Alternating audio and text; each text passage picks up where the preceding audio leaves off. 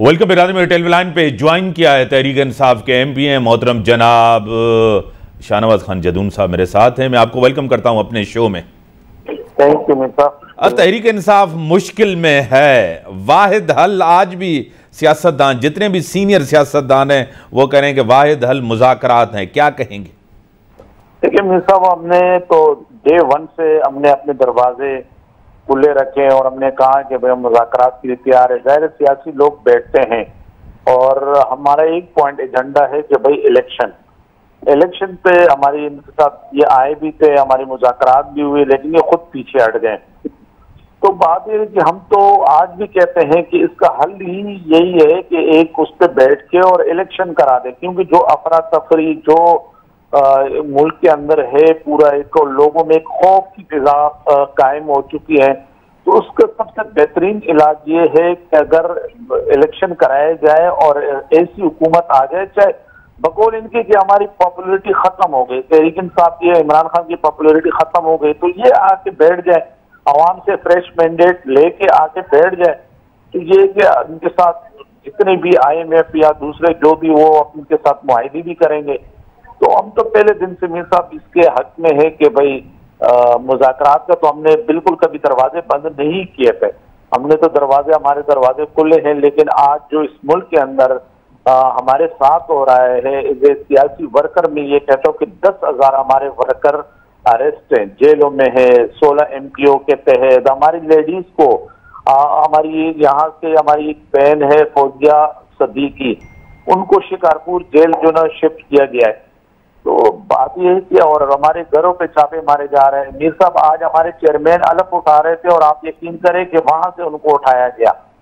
तो ये तो ये इस तरह जुल्म और बरबरीत तो मार्शला दौर में भी नहीं था, जो ये नाहल गवर्नमेंट के दौर में हो रहा है और सियासी वर्करों को इंतकामी का निशाना बनाया जा रहा है। तो सर, आपको खुद पता है कि आज आर्मी चाफ आर्मी चीफ ने बड़ा खुल के कहा है कि फौजी तनसीबात, यादगार शहदा की, हरमत के ऊपर हमले नाकबले बर्दाश्त है। इसी को किसी तौर भी बर्दाश्त नहीं किया जा सकता।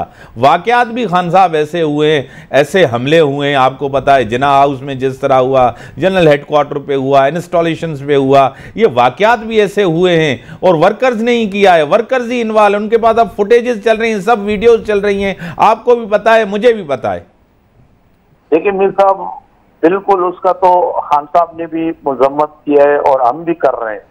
कि भाई जो जिस उस पे हुआ है, लेकिन बात है कि अगर इनके पास फोटेज है, इनके पास वो है सारे तो एक आजादा ने एक कमीशन बनाया गया है। खान साहब ने कहा था कमीशन बनाया उस पर कोई इतराज नहीं है। उसमें वो सारे सबूत ले जाए ना, दूध का दूध और पानी का पानी हो जाएगा। ये तो खाली तहरीक इंसाफ को क्रैश करने के लिए ये इन्होंने वो किया कि भाई तहरीक इंसाफ, बात यह है कि वहाँ कुछ ऐसे शरपसंद भी थे जो मुख्तलिफ़ पार्टियों के थे, दूसरे पार्टियों के थे। और उनके फुटेज और उनकी वीडियोस अभी आ रही है क्योंकि ज़ाहिर है ये इक्कीसवीं सदी है और टेक्नोलॉजी का दौर है आज तो हर एक के हाथ में मोबाइल है। अगर कहीं किसी ने वीडियो बनाई और एक बंदा आया है तो वो आज ज़ाहिर हो रहा है कि ये मुस्लिम लीग नून का है या ये तहरीक इंसाफ का है या ये पीपल्स पार्टी का है। तो उसमें तो बहुत से शरपसंद अभी सामने नज़र आ रहे हैं कि भाई वो मुख्तलिफ़ पार्टियों के थे और वो तहरीक इंसाफ को बदनाम करने के लिए उन्होंने ये हरबे इस्तेमाल किए तो इमरान खान साहब ने तो पहले दिन कहा था कि मैं इसकी ना सिर्फ़ मजम्मत करता हूँ, बल्कि उन्होंने कहा कि एक कमीशन बनाई जाए जिसमें पता लगे कि वो कौन लोग थे जिन्होंने ये हरकत की है। और नौ मई वाक़ात जिस तरह आज ख्वाजा आसिफ ने कहा है कि दूध का दूध और पानी का पानी करने के लिए ऑडियो लीक्स कमीशन कायम किया गया है। ख्वाजा आसिफ ने कहा, नौ मई वाक़ात को साफ़ ज़ाहिर करने के लिए जो ये कमीशन हमने बनाया है। मेरा बात ये कि ख्वाजा सिर्फ़ ये वही ख्वाजा सिर्फ़ है ये खुद हमारे इदारों को कमज़ोर करने के लिए लगे हुए थे, चाहे वो असलिया है हो, चाहे वो मिलिट्री हो। इस असम्बली के फ्लोर पर इन्होंने क्या जबान इस्तेमाल की हमारे अफवाज के लिए? अदलिया के लिए कौन सी, को, कौन सी जबान ये इस्तेमाल कर रहे हैं?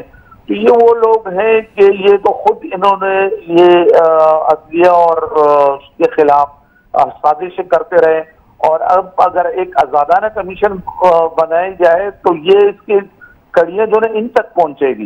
ये ख्वाजा आसिफ और राना सनाउल्ला और एंड कंपनी, मरियम नवाज़, इन तक पहुंचेगी। जब अगर एक सही कमीशन बन गई और उन्होंने मुनसिफाना तौर पर उसकी पूरी इंक्वायरी की तो मैं हंड्रेड परसेंट कहता हूँ कि इंशाल्लाह इनकी कमियाँ यहाँ इन तक पहुंचेगी। आपको खुद पता है कि खान साहब आज भी जिस तरह, जिस भी यानी कि अमेरिकन कांग्रेस खातून के साथ जो गुफ्तु मैक्सिन के साथ गुफ्तु वहाँ भी वही इल्ज़ाम लगाए। खुफिया एजेंसियों के नाम लेकर, खुफिया एजेंसियों के जनरलों के नाम लेकर वो इल्ज़ाम लगा रहे हैं। खान साहब ने अभी तक अपने आप को सियासी तौर पर बदला नहीं है, तब्दील नहीं किया। उनकी टोन वही है। देखिए बात है मीर साहब अगर तहरीकिन इंसाफ में दो तीन लोग गलत हो सारी तहरीकिन इंसाफ गलत तो नहीं ना? सही। तो बात यह है कि अगर दो तीन लोगों की पॉलिसियाँ सही नहीं है तो उस पर तो ज़ाहिर है वो खान साहब कहते हैं कि इनकी पॉलिसी सही नहीं है। तो ये नहीं कि वो पूरे इदारे को या किसी उसको तो नहीं बोल सकते किसी उसके लिए। आज अगर हम सुकून की नींद सोते हैं तो इन्हीं फौज की कुर्बानियों की बदौलत बॉर्डरों पे ये हमारी हिफाजत कर रहे हैं और मुख्तलिफ़ उस पर और अपनी जानों पे खेल कर इन्होंने कुर्बानियाँ दी हैं। तो आज अगर यहाँ सुकून है और हम सुकून की नींद सो रहे हैं तो इन फौज फौज की वजह से। तो खान मीर साहब कोई भी चाहे वो तहरीक इंसाफ का तो खान साहब तो बार बार कह रहे हैं कि भाई इस चीज़ के बिल्कुल ये आज फौज हमारी है और हम फौज के हैं। वो तो खान साहब पहले दिन से बोल रहे हैं। लेकिन अगर दो तीन लोग हैं, उनकी पॉलिसियाँ सही नहीं है और वो खान साहब बार बार बोल रहे हैं तो उस पर भी कोई कमीशन बनने चाहिए ना? यही तो हम कह रहे हैं कि फौज के अंदर क्या किसी उस पर कमीशन नहीं बनता।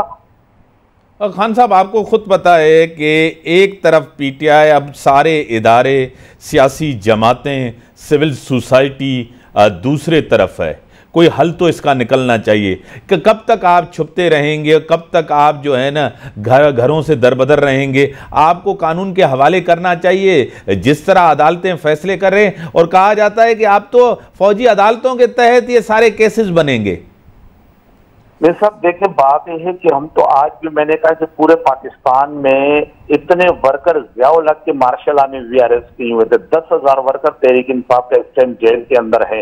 उनका ट्रायल हो रहा है, दस हज़ार वर्कर सियासी वर्कर जिसमें अक्सरियत खातन की भी है। तो बात यह है कि तो जब मार्शल ब्याउलक के दौर में या अयूब खान के दौर में लगा था तो उस वक्त भी सियासी वर्करों पे ना इतना तशद हुआ था और ना इतने वर्कर सियासी वर्कर अरेस्ट हुए थे। तो ये तो यहाँ पर ऐसे लग रहा है कि पीडीएम की गवर्नमेंट ही एक सिविल मार्शल एडमिनिस्ट्रेटर है और जो सियासी वर्करों को पकड़ पकड़ के अंदर कर रहे हैं। मैंने आपको कहा ना कि आज सिटी गवर्नमेंट की ओथ सरमनी थी केएमसी की, और वहाँ से हमारे चेयरमैनों को उठाया गया। ना उन पे कोई एफआईआर, ना कुछ और उनको उठाया गया। सिर्फ़ और सिर्फ़ इसलिए कि कराची शहर में इन्होंने अपना मेयर लेके आना है। तो सबसे ज़्यादा इंतकामी कार्रवाइयाँ तो यहाँ कराची के अंदर पीपल्स पार्टी कर रही है, सिर्फ़ अपने मेयर को लाने के लिए। सही, बड़ी मेहरबानी ईशान अहमद खान जदून साहब। उनका पॉइंट ऑफ़ व्यू आपकी तरफ़ आ गया। नाजरी ब्रेक जो टाइम था ब्रेक हम